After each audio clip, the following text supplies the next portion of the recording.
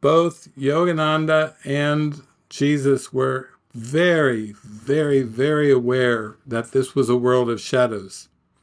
Both of them were aware that, that they were not to become identified or actively engage in the shadows. That is a very rare calling, but it's our calling if we're going to wake up from the dream of time and space. We have to learn to not be distracted by the shadows, not be attracted to the shadows, not be repulsed by the shadows, not believe that we can control the shadows or be controlled by the shadows. You see how important it is? Our experience has to be that we are one and we are dreaming and we are aware that we're dreaming and we cannot be touched by shadows. We, we are not interested in Shadowland. If people say, is what's going to happen in the future? That's a Shadowland question. if people say, did this really occur in the past? That's a Shadowland question. Nothing actually ever occurred in the past, nor will it occur in the future. You're right here with me right now to use today to see that you're the dreamer of the dream.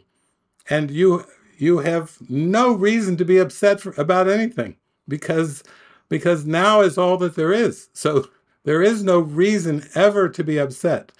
We only have a reason for happiness. We only have a reason for joy.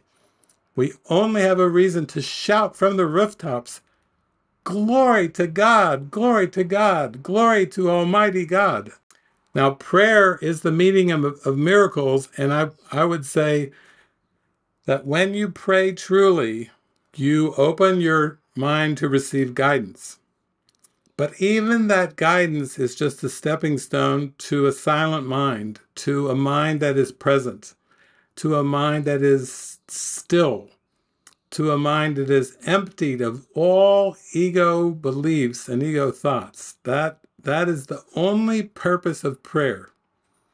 We're not interested in the law of attraction. We're not interested in the law of manifestation.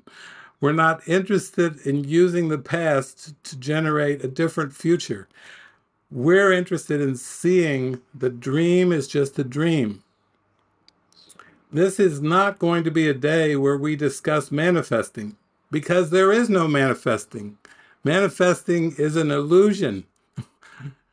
I said the, I said maybe last week if you want to do a workshop that's poorly attended, do one on the impossibility of manifesting.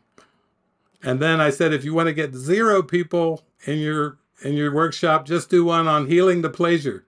You know, that will surely keep you there by yourself to face that thought.